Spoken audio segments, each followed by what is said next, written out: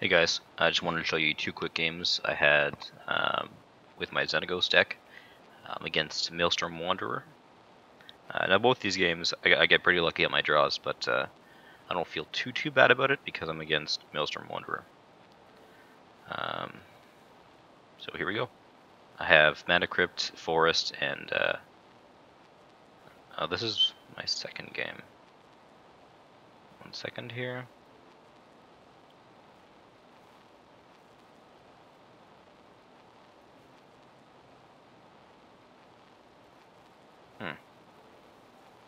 Oh no, this is this is the game. Uh, yeah. So versus Maelstrom Wanderer. I have Mana Crypt, uh, Jitte, and a couple of lands in my hand. Um, it's a pretty good keep.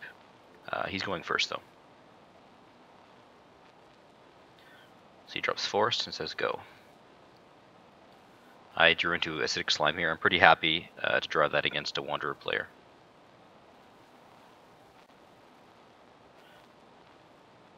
So I just look for a uh, for a land.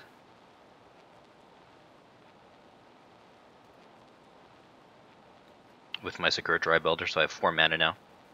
And then I drop my fifth. Uh, kill is forest. I go for the forest because um, Maelstrom Wanderer decks all they do is ramp, and uh, if I keep them off green, maybe I can delay them a little bit. Um, he decides that that's the game. The next one is more interesting. This this one just shows, I guess, uh, how fast my deck can be. So not not a great example, mainly because I got uh, Mana Crypt out. Um, so game two.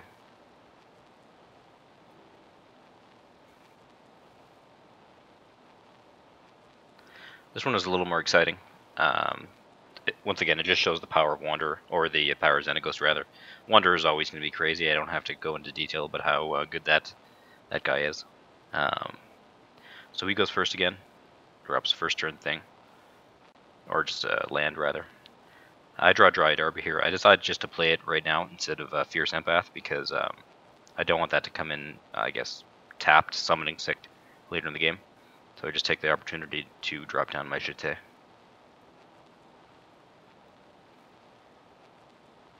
Now he does he does the second turn without doing anything, which makes me think that um, his deck is probably more good stuff than it is ramp. Rarely do you ever see a Wanderer deck not drop a first turn thing or a second turn thing, um, just because you want to get Wanderer out as fast as possible. I've seen him out, come out as early as turn two, and uh, and well, now I'm not too afraid. So I take this turn to just uh, invest in the board state. I get uh, my Planeswalker out, so next turn I can have two mana. So I just make a little 2-2 here and attack. So he's going to be uh, he's going to be useful just like Rook, just two two mana turn at this point. Um, so next turn, on my turn three, I'll have one, two, three, four, five, and then six mana um, because I have a mana in my hand. Need crop rotations for Ancient Tomb. Um, now that's what I'm used to seeing in a, in a Wanderer deck. So now I'm getting a little afraid. Um, so he drops uh, just a crappy Skyshroud Claim. So now, on his fourth turn, one, two, three, four, five, six, he'll have for sure six mana and probably seven, depending on what's in his hand. Um, that means there's a two turn clock from Wanderer if he puts only one land down a turn. Like if he gets uh, Mana Crypt here, uh, it's it's gonna be game over for me. And that's just how Wanderer decks are. They're just freaking insane. Um, so I put out my Bloodbraid Elf. Uh, I don't activate Xenagos before because I knew there was a good chance I'd get uh, Mana Dork, and I do. So I'm pretty happy to see that guy. Um, cast him or get her on the battlefield, and then now I have with Shrine to Nykthos enough mana to attach my Jitte.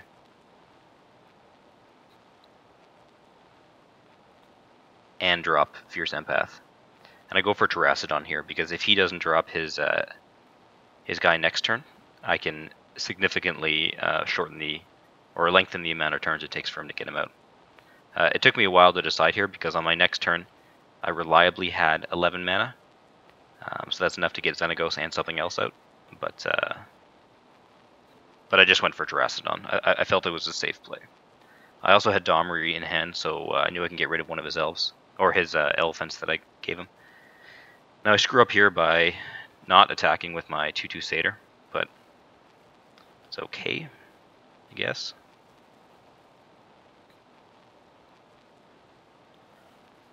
So he takes a time to drop Oracle, or I shouldn't say takes a time, he uses his turn to drop Oracle, gets a land on top, and then puts away the Signet, and I see Bribery on top. So now my main goal is just to uh, to stop him from Bribery mana.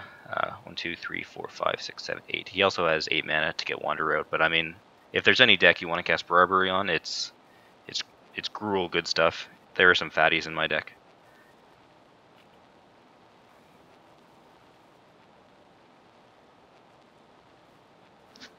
So I attack first to see if I can trick trick him into uh, blocking my uh, Bloodbraid Elf. Of course, I knew there was little chance that he would, but uh, oh boy. Oh, there we go. So I attack, and once again I should have attacked with my Satyr. Uh, he doesn't block. So I spend the uh, counters to get rid of Oracle. Um, and then I just cast Terastodon, and I cast Terastodon before I activate Xenagos, so I can have enough mana to, excuse me, put out Domri Rade and Song of the Dryads. So I kill his two blue sources and and one of his other mana.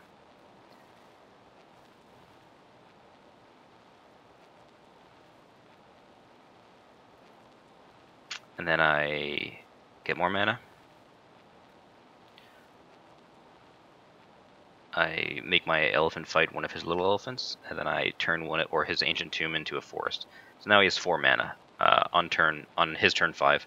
So I'm feeling pretty good because uh, I, I, stemmed the first tide of sort of wanderer aggression.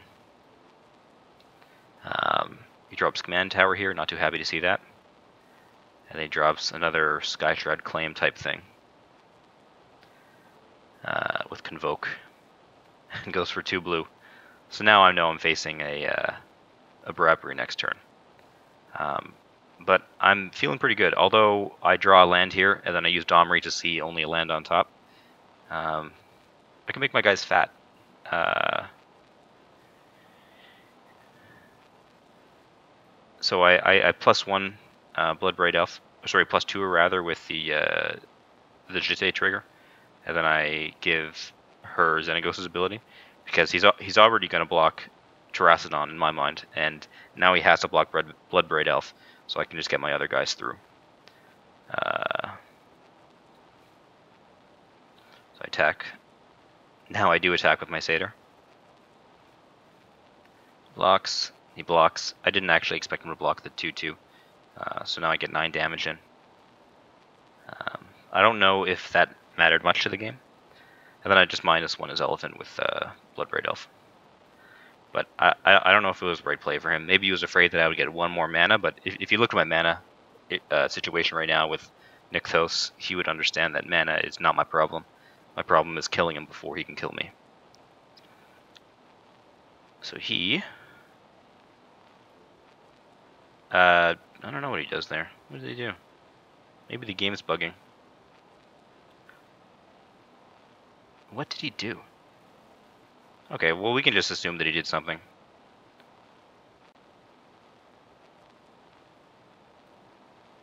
No, doesn't doesn't show doesn't show what he did.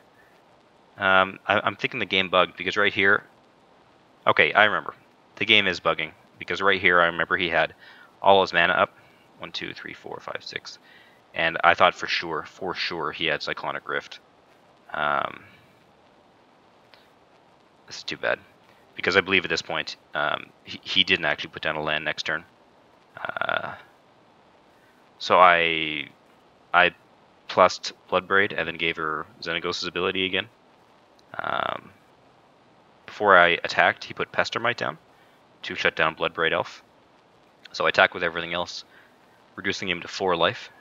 Um, and then on his turn, he used Bribery, and I have Kiki Jiki in my deck, so I immediately killed his Pestermite. Um, and then he just went for a Balefire Dragon and uh, realized that he couldn't win with 4 life and a Balefire Dragon, and he concedes the game. It's too bad that bugged out, but uh, you get the gist of it. It was only two turns longer. Anyways, I hope you enjoyed the video. Um, this just shows how, I guess, fast Xenagos can be. Maelstrom Wanderer, he's always going to be better than Xenagos, but uh, Xenagos at least can stand his ground. Um, luckily, I draw mana. Luckily, rather, I drew mana crypt in both those games, and I was able to disrupt his land base in both those games as well.